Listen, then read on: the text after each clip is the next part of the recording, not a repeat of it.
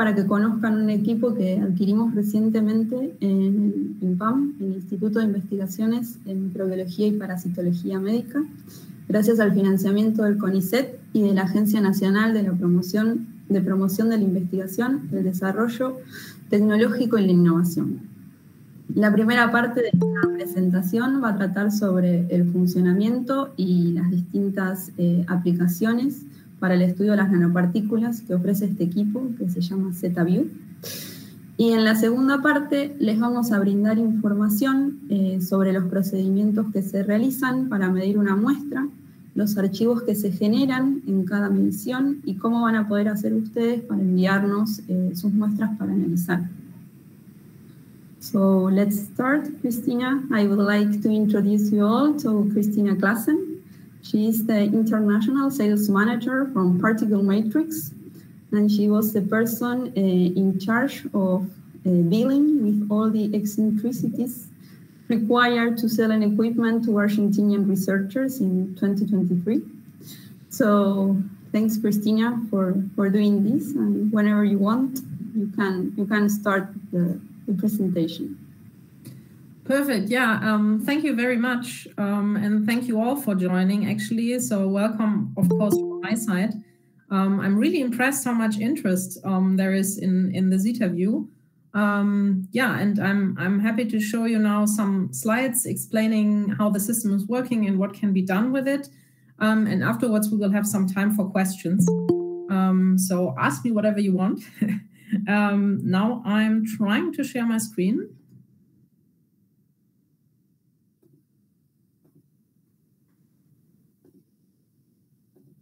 So I hope that you can see my screen now. Yeah. Yeah, yeah. Perfect. Okay. Because I can't see you now anymore. So if there's something coming up, you need to let me know. I can't see anything now anymore because it's on presentation mode. Okay, let's get started. So I gave the presentation the title Multifluorescent NTA, um, Next Generation EV Characterization with Particle Metrix Zeta View. And I'm uh, going to start from the biological side. So I'm going to start talking about extracellular vesicles. Maybe all of you are uh, extracellular vesicles researchers and experts. Um, then it might not be so interesting. But I didn't know since you were so many people, maybe coming from different directions, I thought we should lay some sort of yeah common knowledge together. So this is why I start from the extracellular vesicle side. So the first question, question that I'm raising is why is the interest in extracellular vesicles so high? So 20 years ago, the overall opinion about extracellular vesicles was mainly that they are garbage bins for cells. But when we look here, maybe I should start my presentation mode uh, here. When we look here um, at the number of publications dealing with extracellular vesicles, um, so the source here is the listed publications on PubMed per year. It seems that this opinion has changed a bit because I guess that research about garbage would not really explain this massive increase since the early 2000s. So to understand that increasing interest, um, we have to ask ourselves, what are EVs? Um, you know that they are um, that they can be divided in uh, three main groups. So we have apoptotic bodies that develop during the programmed cell death by membrane blebbing, and they can then contain the degradation products. So additionally, we have microvesicles, which are formed by membrane budding. And these um, smallest EVs and the smallest EVs are exosomes, which are of endosomal origin, and they have to undergo exocytosis. And they are known to have a median size of roughly 30 to 130 nanometer only. And they can contain proteins, nucleic acids, lipids, and other metabolites. So they these exosomes came mainly into the research focus because it could be shown in many publications that they transfer biological functional molecules from their cell of origin to a recipient cell where they then regulate cell behavior. So either they start a signaling cascade by ligand binding, or they are taken up by endocytosis. or they fuse with the membrane. So this has um, shown that it has, it, by these ways, it has been shown that they can um, alter then the gene expression of the target cells. And in this way, they can play a pivotal role for different diseases. So especially their role in um, different cancer entities has been intensively studied. For example, they seem to play a pivotal role in metastasis, but they can also be used as biomarkers or um, as therapeutic approach. And this is only cancer. So there's a long list of other diseases where the small EVs seem to be involved, like cardiovascular diseases, neurodegenerative or respiratory diseases, and additionally, they also play a role in infectious diseases. Um, and knowing this, then it's not a surprise anymore that the interest in these small key players for different um, diseases orchestrating cellular functions in physiological and in pathological conditions is very high and it's still increasing. But so, what is our challenge? So when we compare the size of an exosome with a cell, we see that they are about 100 fold smaller. They have a size of about 100 nanometer and are in a similar size range than a lot of viruses, for example. And therefore, most of the typical um, cell biological methods cannot be used to study exosomes. I myself did never work with EVs during my research career, career but I tried to analyze platelets.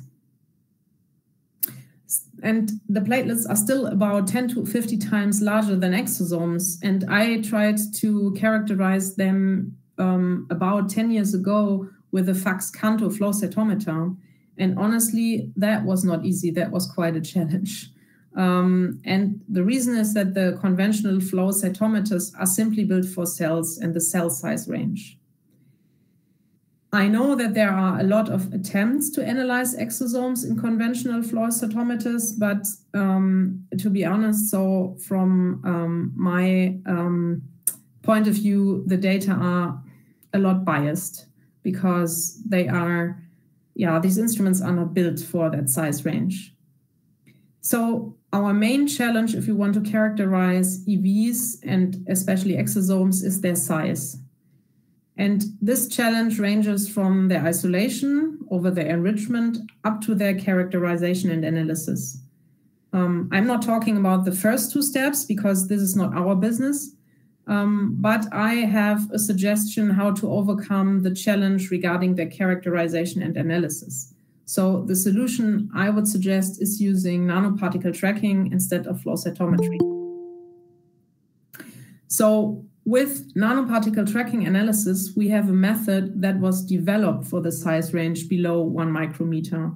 And here I have now a scheme of the inside of the blue box named ZetaView. So this is how the instrument looks like, and this is what is what is inside it. Um, so we have on top one or more lasers, which give light to our particles of interest, which we injected into the measurement chamber all the particles in here scatter then the light coming from the laser. In 90 degree angle, we have an objective followed by a high sensitive CMOS camera detecting the light coming from the particles. And in case we want to work with fluorescent light, we can simply use here this um, fluorescent filter, which we move in front of the camera so we can block the laser light and analyze only longer wavelengths fluorescent light. And with this setup, we can analyze the size of each particle, we can analyze their concentration, we can analyze the zeta potential, we can work in fluorescent mode, and we can do colocalization analysis. So the history of the ZetaView started in 2008 when the first blue box with the name ZetaView was launched. And this instrument here was uh,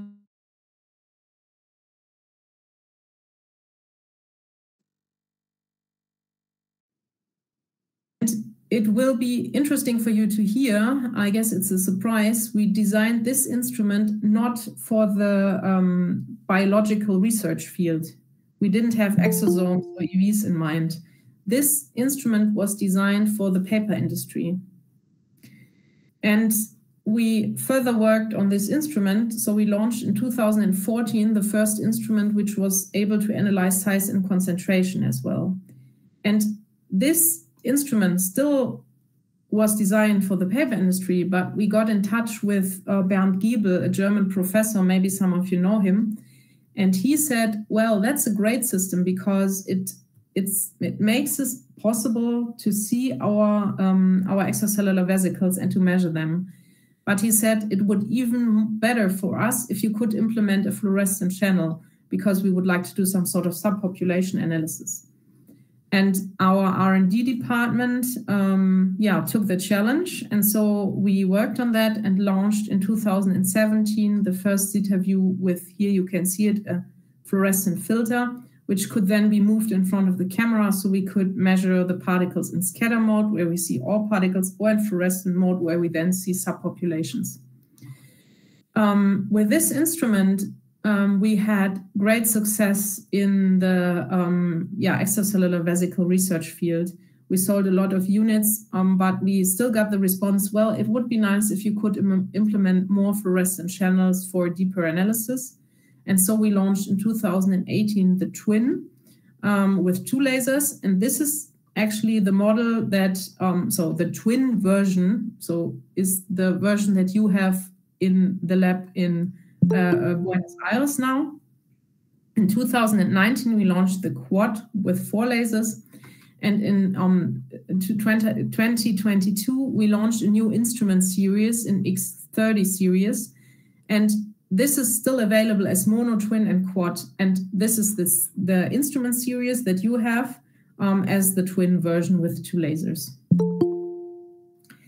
And the system itself is really straightforward. So you simply inject your sample through this injection port, which is here in front.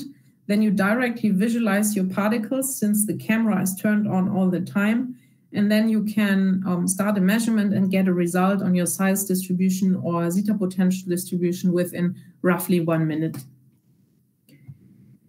And one of our unique features is the scanning technique. So we decided to build the laser and the microscope on movable tables. And that enables us to measure different subpopulations um, out of one sample. So um, this is you can imagine like like Z-stacks. Um, this is what this little video should show. So when you start one measurement, you analyze typically 11 different measurement positions. And the reason for this is simple. So we um, get a much more representative sample with, result with a higher statistical power. So if you analyze one position, you typically analyze something between 50 and 200 particles. And then you got often get often a size distribution which is here a bit peaky. Um, but if you look on the Y scale, you see that you are just working in a range where you have just a few particles analyzed. If we analyze then 10 more positions, we normally see that our size distribution is looking like this. So you are statistically on the way safer side this way because you can analyze up to one or 2,000 particles in one, in one run easily. Okay, I told you we can measure size. With this slide, I would like to explain how we do that. so this is how your particle will look like in the Zeta view. We create videos, and what we see is that the particles move constantly. And this movement is called Brownian motion, and it's depending on their size. So the smaller a particle is, the faster it moves, and the other way around. The, larger it is, the more lazy it is, um, and it will not move so fast. And what the software does is just tracking the way the particles move from frame to frame. And the physical uh, um, physical background is not our, our idea. Um, it's the Stokes-Einstein equation that we use. So that gives us the relationship between the radius. So we are looking at vesicles, spherical particles. So the radius is their size um, by analyzing the diffusion coefficient, which we can track here in the software. Of course, we need other um, parameters like viscosity, temperature, and a constant value. The temperature is measured by the Zeta view all the time. The viscosity needs to be told the instrument. As long as we work in water or water-based buffers, there's nothing to do. The system knows this viscosity value, but the system would be able to analyze also um, the zeta, uh, the size in, let's say, alcoholic um, uh, buffers or something. But then you need to tell the system, now this is a different viscosity. Um, and then you get can still use the Stokes-Einstein equation and get a, a reliable result on the size. So the take-home message is not a complicated equation. I'm biologist. I'm I hate equations. So the take-home message is that the size is calculated by the measurement of the Brownian motion of the particles. Additionally, I told you that we can measure the concentration. How we do this is pretty easy to explain. We know the size of our field of view of the camera. We also know the thickness. So we know that we measure three nanoliter per measurement position. And then the zeta view simply counts every particle being present in this field of view. So we know the number of particles per volume, so we know the concentration.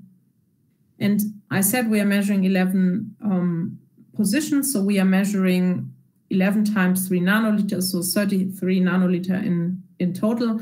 That sounds to be a small volume, but if you have in mind that we are looking at the nanometer scale, and if you compare that with other methods working in this scale, you will see that it's a rather big volume and you get a really good overview about what's going on in your sample. Additionally, I said we can measure zeta potential. Um, for the zeta potential, I have an introductory slide because I'm not sure how many of you have been working with zeta potential before because it's not a very biological um, measurement parameter. Um, so the theory is whenever you have particles in solution, you have different forces working against each other. So for example, you have van der Waals forces.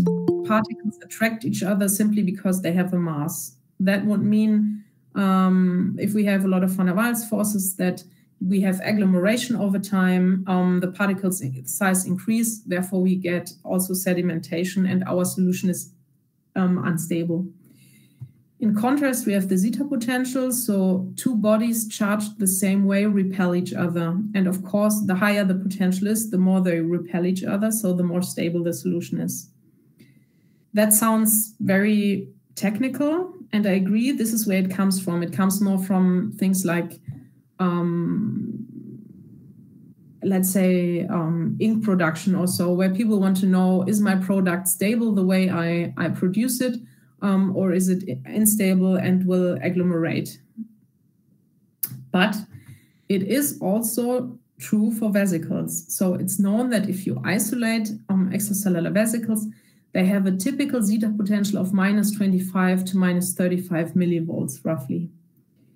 And um, it's also known that if you stress your vesicles um, due to freeze and thaw cycles, buffer exchanges, things like this, they tend to lose their potential. So it, it tends more to zero. And if we look at this, so this is an experiment that, we did. We isolated them. They had a zeta potential of minus 25 millivolts. And after a buffer exchange, um, we found the zeta potential to be at minus 18 millivolts. So it's just seven millivolts difference. It does not seem to be such a big deal. But if we then measure the size, and this here is now a logarithmic scale, you see a dramatic increase. So they, they are not stable. They don't behave like material you want to do experiments with. There's something going on with them. And um, the advantage of measuring the zeta potential is that this is something you can measure directly after um, you thaw your stuff and you want to get prepared for a row of experiments. Then you can check the zeta potential because if you just measure the size, you might still find them here because this agglomeration takes time to happen.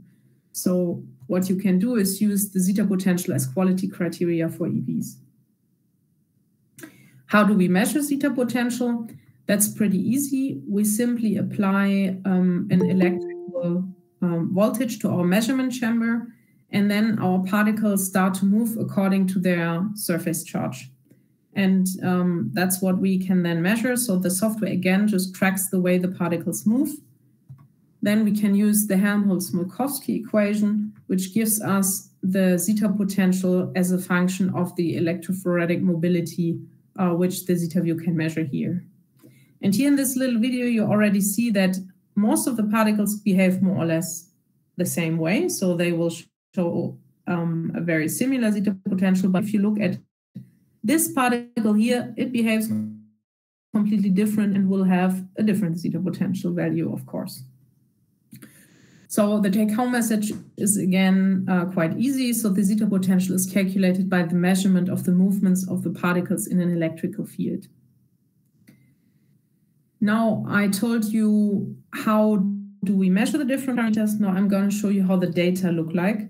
So I'm pretty sure most of you are familiar with this kind of size histograms where we plot the number or the concentration of our particles against the diameter.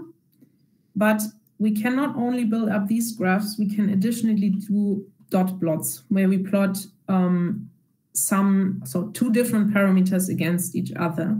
So a very typical combination is to plot the mean intensity, so the brightness of the particles, against the size of the particles. There are other variables available in the system which are measured, but I'm not a physicist. Some of them are really hard for me to, to explain what they actually mean. And um, I think for biological applications, normally mean intensity against size is the interesting one. Um, and the question is then, why do we need this? I mean, we are just interested in size and concentration and maybe zeta potential. Well, it becomes of interest when you have some sort of mixtures of samples. So this here is an example of polystyrene and gold. And you see we have one size peak. So seems like both materials have a similar size.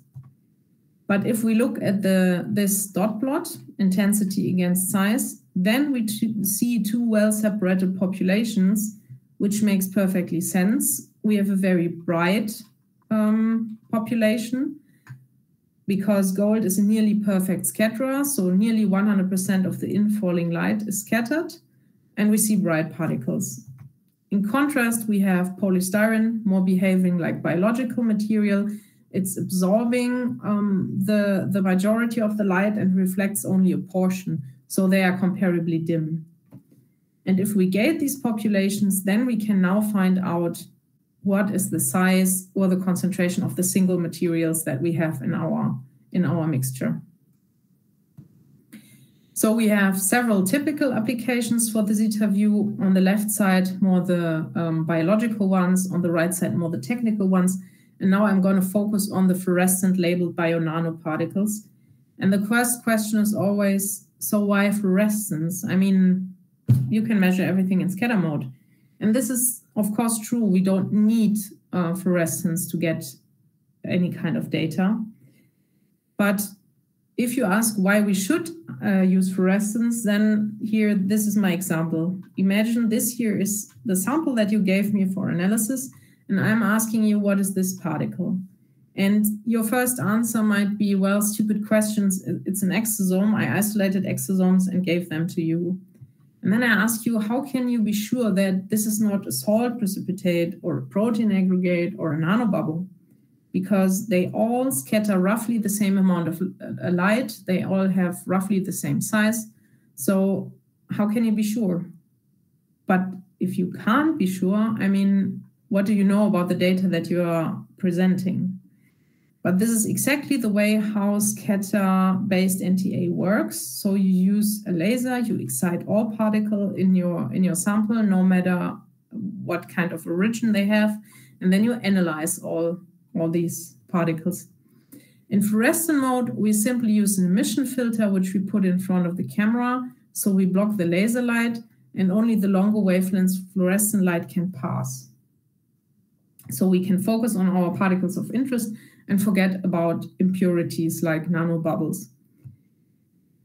But if we want to do that, we of course need some sort of fluorescent staining. So the easiest thing that you can do is a membrane staining. There are thousands of membrane dyes available.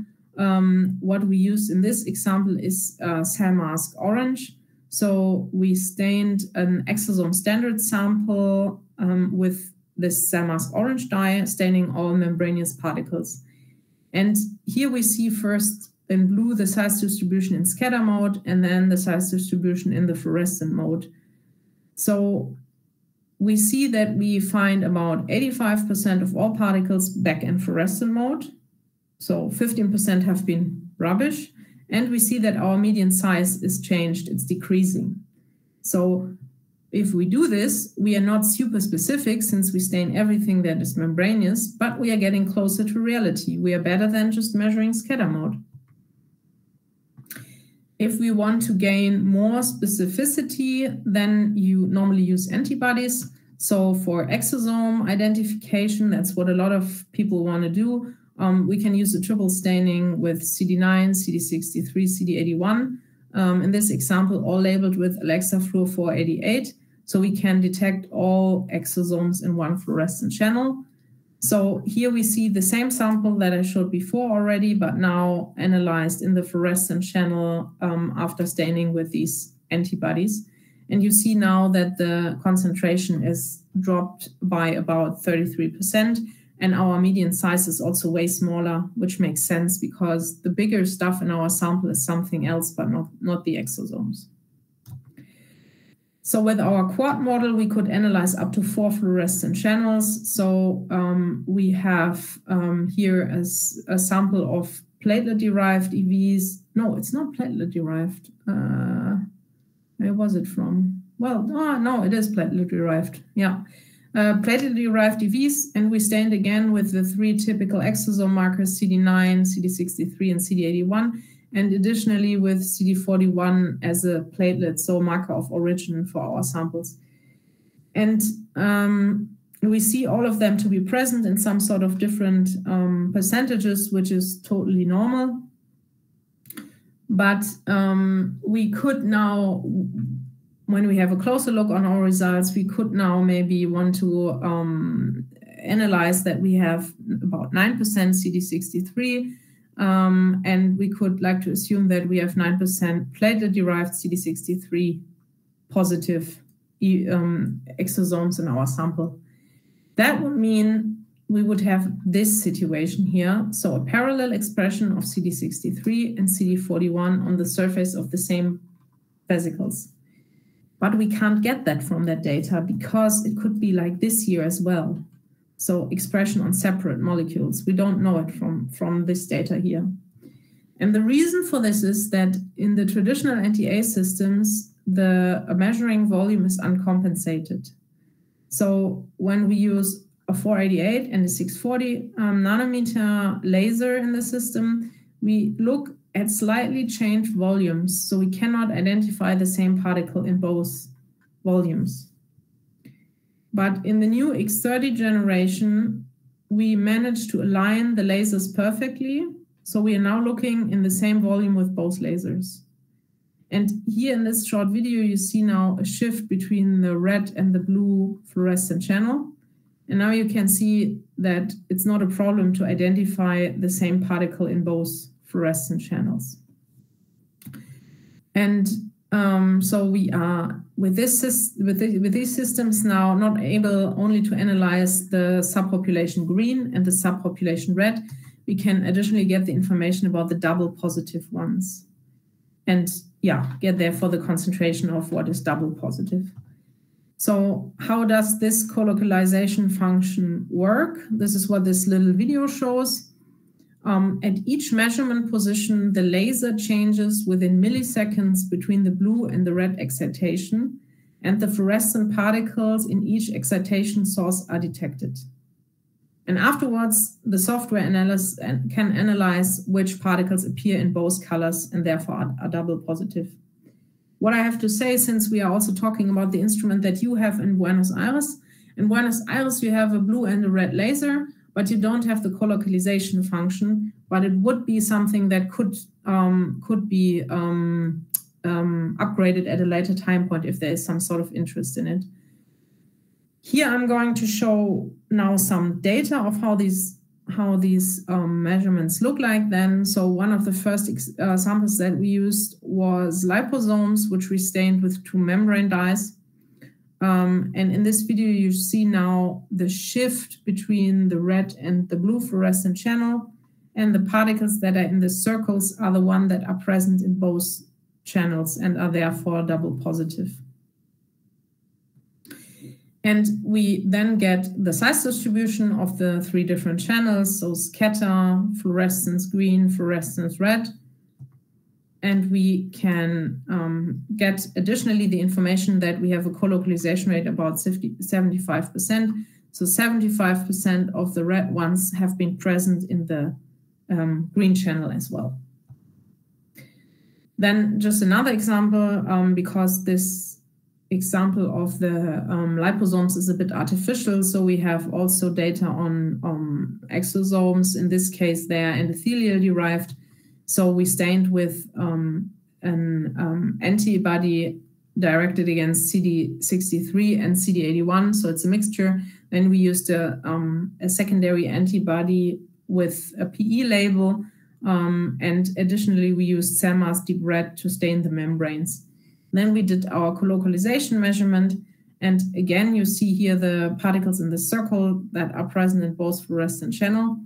And in this case, we have a colocalization rate of about 28%. So 28% of the of the membranous particles are indeed positive for CD63 and CD81.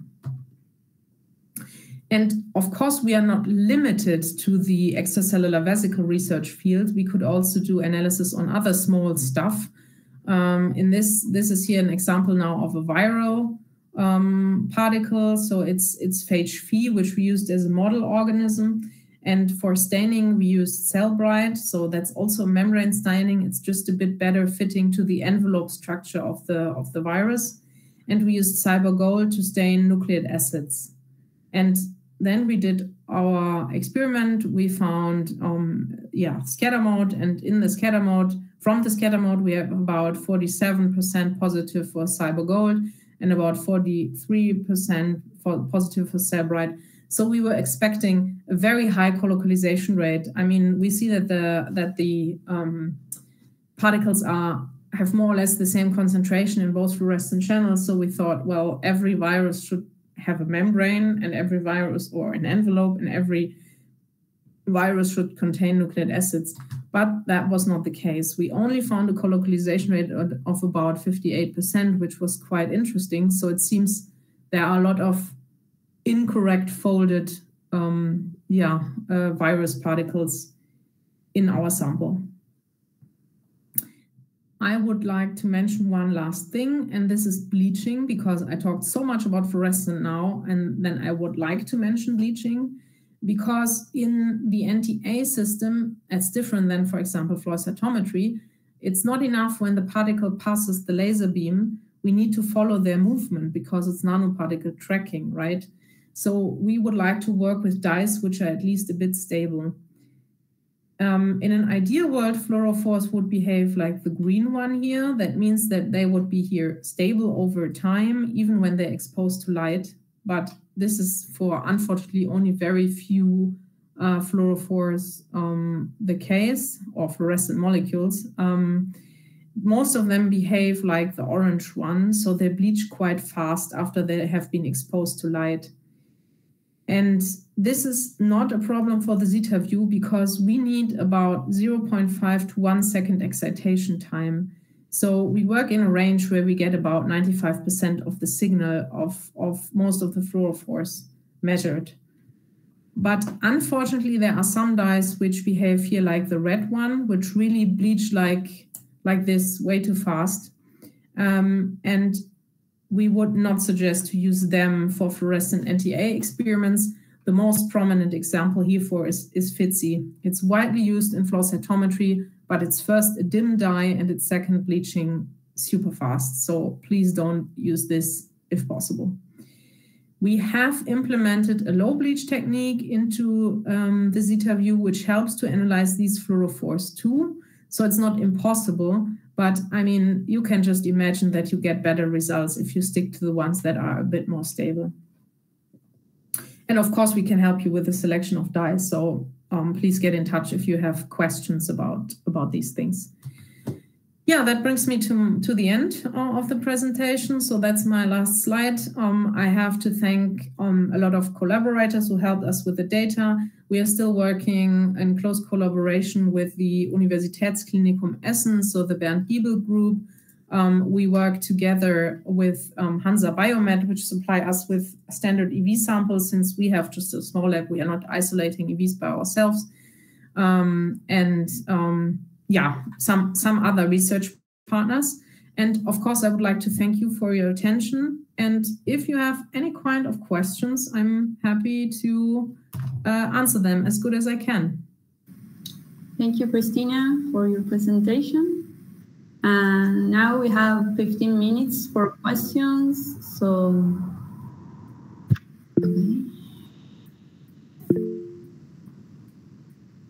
Okay, so we're going to open the microphones. So please, please, please keep them all shut down, shut off, and we just allow the people who want to ask questions. Mm -hmm.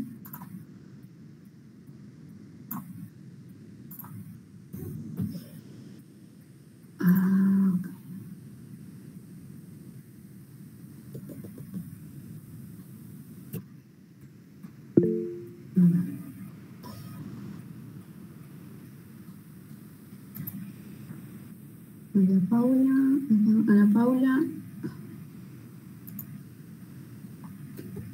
Gabriela, ¿me puedes dar una mano habilitando a... ¿Quién había levantado? Ana Paula Domínguez.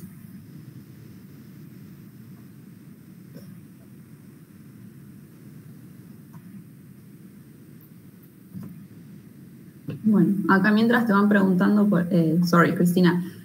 We have some questions in the chat. So, do you have some experience with EVs from urine samples? Well, um, we I know that we have customers working with that. Um, I personally haven't isolated them um, from urine. I guess that's the um, that's the challenge here. For the analysis part, it should not really matter. Um, and I'm unfortunately not a real expert for the for the isolation, and this is why I I can't help here um, really well. Okay. We have another uh, thank you. Do you have any recommendation to avoid the background noise? Could that become an issue? Um, the question is which background noise? So are we talking about background noise in scatter mode? Um, that would mean just mainly other particles. And no, there is no not really um, a way around it. Um, the way around it would be use fluorescence to stain your particles of interest. Um, or are you talking about the background noise in the fluorescent channel? Then yes, there is a strategy. Ah, in scatter mode. Okay, thank you for answering. Um, yeah, that's that's hard. I mean, the background just comes from other particles that are in the sample, and I mean, it's just a physical um, um, um, thing, right? I mean, just every particle in which is in the sample scatters light. So we, we cannot um, solve that. Um, the, the question is if there would be a possibility to use another isolation method that you isolate less other particles. Um, just a few things that we know. So if you try to analyze uh, vesicles directly in um, media, that's possible. Um, and then um, you should avoid um, media containing um, uh, serum because that has thousands of particles and proteins. That should be avoided, and you should avoid um, phenol red, which is in a lot of media because it also scatters light.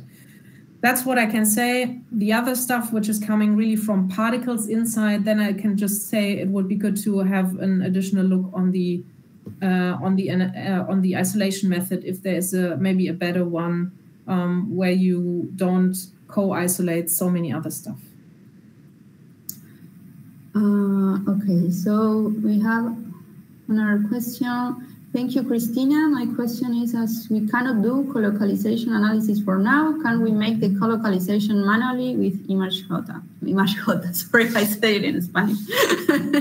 with, with? With another software, ImageJ.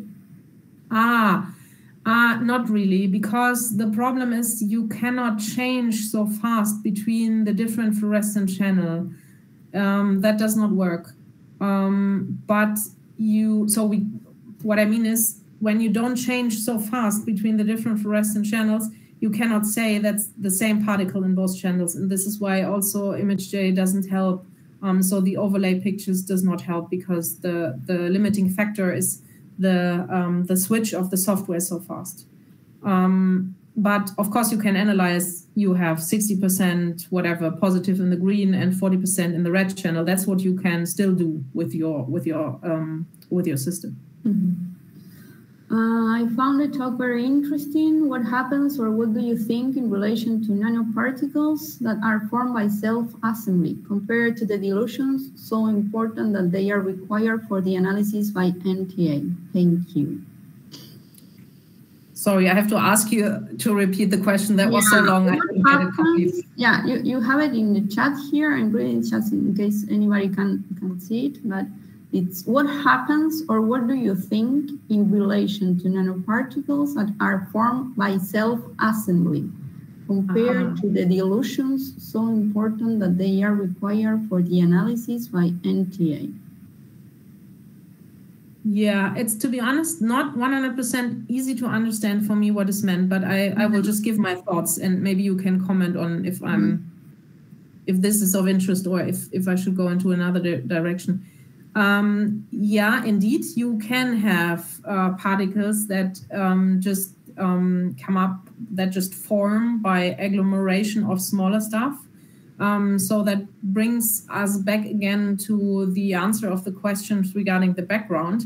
Um, if you can use an isolation method that gives you less um, less co-precipitates, let, let's say, in in in your isolation. Um, if yes, then you would have, of course, also less problems with that. Um, and um, then the next thing that I would always recommend use the fluorescent mode and stain specifically your stuff. Then you you are not so much affected um, by these um, other particles that might might form um, during yeah just the storage of the sample or the preparation of the sample. That would yeah that would be my comment on that. Thank you. Um, when you count the amount of particles, you can filter setting a size or just count all the particles in the area? Uh, yeah, good question. Um, we can we cannot really um, set a size, at least not for the complete analysis. So we are analyzing everything which is in the sample, but in the software you can afterwards um, set like gates and say, okay, I'm just interested in the in the um, concentration range between whatever 30 and 130 nanometers. So in the post analysis, you can then get information about just the size range um, that you are interested in. That's that's possible. And there is also another way, um, but this is not about size. This is about, about the brightness of the particles. So you can um, in the software set a minimum and a maximum brightness um, value to exclude, the idea is normally excluding really small stuff um, and really, really big stuff. So far away from what is of interest. Um, it's like just setting, you know, really uh, wide range borders. But um, depending on your application, you could maybe set them a bit um, a bit more narrow and then exclude really uh, so bigger or smaller stuff but the problem with this is that, as I said, this this can't be due to the um, size. This is just due to the, the, brightness the particles have, and of course, somehow brightness and um, and size um, are dependent from each other, but only in a in a certain amount. Because um, as we saw in this one slide, so if you have gold and polystyrene both at the same size, they scatter totally different amount of light um, based on their refractive index. That means just using this brightness um, parameter could could bias your data. And this is why this wouldn't be my first choice. I would just analyze all data and then use in the software um, the these um, like gates to say, okay, now I want to focus on this um, this nanometer scale. Okay. Um, I would like to know a technical question, which is the volume of the sample you need for measurement and can you recover the sample? Yeah, uh, good question. So the volume that we need minimum is 0.5 ml, but I always say you should have 1 ml because you have just a dead volume in your vial, in your syringe, in wherever. So please just have one milliliter in mind. That sounds to be a huge volume, but we normally dilute the sample very strong. So um, we work in a concentration range of 10 to the power of 7 or 10 to the power of 8. So for a typical EV isolation, you dilute your sample about a thousand or at least a hundred times. So that means the original uh, volume is one to 10 microliters, something like this.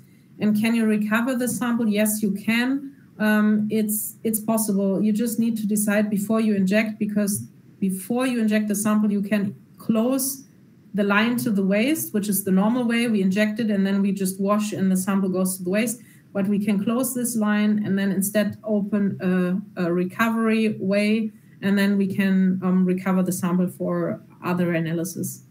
To be honest, not many customers use it um, because the, it's anyhow so so diluted the sample that you cannot use it for, let's say, Western blotting or something. But we have customers working with, um, that's my favorite example, um, uh, EVs and uh, isolated um, from um, Drosophila flies.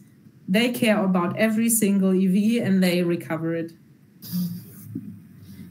Thanks. Uh, do you recommend sonicating the samples just before measuring them on the equipment? Not for EVs would be my answer. Uh, for EVs, no, I would never recommend sonication. Um, but if you analyze other material like uh, gold nanoparticles, um, also some some pharmaceutical uh, samples they just require sonification before um, they are measured. So the answer is it's sample dependent. And we have one more. Does the instrument tend to overestimate the size of particles? Yeah, that's a that's that's a good question. Um, if you go through literature, there's literature saying that. But if I go back on my slide um, uh, to of uh, where I um, where I show the analysis in fluorescent mode by the use of the antibodies in comparison to scatter mode, I think that makes clear where this idea comes from. Because in the younger days of NTA, people just did um, scatter-based NTA, and they reported the overall size that you get as the size of the EVs. And this is then way larger, uh, so typically around 130, 140 nanometers in comparison to, um, to what comes out in, let's say, a TEM analysis, where EVs were more shown to have a size of, let's say, 80 nanometers. So people thought, okay, NTA is always overestimating the size. But the real reason for this is that in scatter mode, we analyze way more than just the EVs. We analyze bigger stuff too. So if you really focus on the EVs by the use of a good staining, an antibody staining, you normally get sizes that are in more or less perfect, um, uh, uh, perfect, uh, um, yeah, giving the same results like 10 analysis, TEM analysis. So I don't think that it in generally um, overestimates the size. Um, I think that's um, really dependent on what you analyze. If we look at standard material, um, we, I mean, we use for for calibration of the machine um, 100 nanometer polystyrene beads. We get exactly that size that is um, given by the yeah producers of this uh, standard material. Uh, is there a is there a particular brand of antibody that is recommended for this heat? And another question, have you used samples bound to fluorescently label DNA aptamers? great question. There's somebody deep into topic. Um, no, there's not a specific, a particular brand uh, that we recommend. You can use any, any, any antibody you want of course, we have tested some. We can tell you some, at least for the for these um, that we know that work quite well. But in generally, no. Um, whatever you want to use is fine. Um, aptamers, we are working on that. So um, because of course we, we we would think that it would be an advantage to use aptamers. They are just smaller. Um, but I I'm not in the application team. I just know that my colleague is working on that, but I don't know what kind of results he has so far. So that's a good question, but I I cannot. Um, yeah, I, I don't have details on on what they found out so far. Okay, and two more. Uh, thank you for the talk. Is it possible to identify the auto-aggregation of dyes, the quantity of contamination of a sample because of this auto-aggregation? Um, self-aggregation. Aggregation of dyes, yes. Um, that's less a problem with antibodies. That's more a problem with, let's say, membrane dyes. It's known that they form um, aggregates. And yeah, you should definitely always use a um, control to check that. Um, and the since since January we have um, new MISEV guidelines. Um, I guess you have seen them, and they exactly say that you should always use a control where you just use your dye um, without the vesicles in a sample, and then analyze that. And that should, of course, then show that you don't have agglomerates inside. And if you don't have them in there, you, you wouldn't expect them to be in your sample. Um, for, from my experience, um, you always have a few, um, but it's just, let's say, two or three or whatever. And then when you see that in your sample is way more, I mean, that's just like a little bit of background. Um, and if you show the controls to your analysis, that should be fine. Great. And the last one, and we have to pass to the second part of this webinar, is which is the difference between NTA and DLS for size measurement of or inorganic NPs? Yeah, a good question. Um, well, um, DLS is the difference, the main difference between NTA and DLS is that NTA is a technique to follow every single particle. So it's a single and a single particle analysis technique while DLS is measuring the signal of all particles in one sample. Um, and this um, is so if you have if you have particles that are all at the same size, um, then DLS is a great um, technique. The advantage of it is that you can go way lower. So our size limit is depending on the material, somewhere between uh, for biological material 30, 40 nanometers to uh, gold about 10 nanometers. Um, DLS can go way smaller, um, depending on the, the system that you're using, maybe just two nanometers or so. So if you're really analyzing small stuff um, and they are all at the same size, go for DLS. But if you have a sample which is um, which is where you have different different sizes inside, um, DLS is very biased because the the signal of bigger particles, the light signal is way larger than the signal coming from the small particles. And then the DLS system completely overestimates uh, the larger particles and does more or less overlook the small ones. So um, that means it just depends on what kind of sample you have, what technique is the right one to go with. concentration is the next thing. For DLS, you need a rather high concentration to get a good reading and for NTA, um, you, you, you use a way lower concentration. So it depends on what what sample do you have? Um, is it uh, do you have only particles at one size or or not? Um, and what is the concentration? Um, and then you can decide what what technique is the better one for your sample. Okay. Well, so uh, thank you. And well, just one comment about another question. I clarify the previous question. Could the dilution used in NTA disassemble particles? Disassemble. disassemble. You mean if you, I guess I understand what what you mean, that if you dilute, um, that it changes the particle parameters, I guess. And then the answer is yes, I've seen that. Um, so it's that's not a problem for vesicles, and it's not a problem um, if you um, if you have a stable solution. But I have seen samples where you destabilize the solution by by a dilution, and then you see that something is going on. Um, you can get an idea about this by measuring the zeta potential, by measuring after different um, time frames. But yeah, it's, it's if you have a way higher concentration in the original sample and you need to dilute whatever I've seen 100,000 times um, and um, the solution gets unstable, yes, it can happen. Well, thank you very much, very much, Christina, for, for your presentation and for the time to answer all these questions. So now we are going to to to present the second part of this webinar in Spanish. So see you see you soon, hope. Perfect. Um, you're very welcome. It was a pleasure to be here. Um, enjoy the second part of the seminar, everybody. Bye. Bye.